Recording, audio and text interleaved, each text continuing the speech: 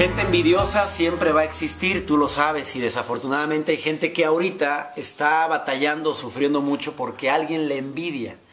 ¿Quiénes son las personas más envidiables? Aquellos que no se meten con nadie, aquellas personas que no le hacen el daño a nadie y esos hombres o mujeres que hacen su trabajo de la mejor manera. Bueno, ¿no se te hace que eso es algo natural? Pero estar promoviendo la envidia, eso sí no es algo natural. Hay gente que alardea de lo que tiene o hasta de lo que no tiene. Manejar la envidia es una sensación a veces muy desagradable para muchos, pero te quiero hacer una recomendación práctica. Haz tu trabajo de la mejor forma posible. Expresa el amor como te nazca. Haz las cosas como crees que deben de hacerse y sobre todo con un valor agregado.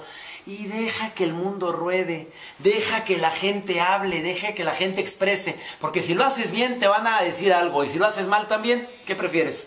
Un terrible error que cometemos los seres humanos es idealizar a las personas.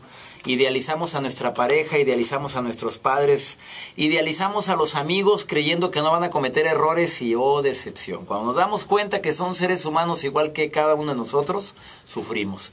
¿Sabes qué te quiero recomendar el día de hoy? Eh, no pongas eh, demasiadas estrellitas en la frente a la persona que no se lo merece.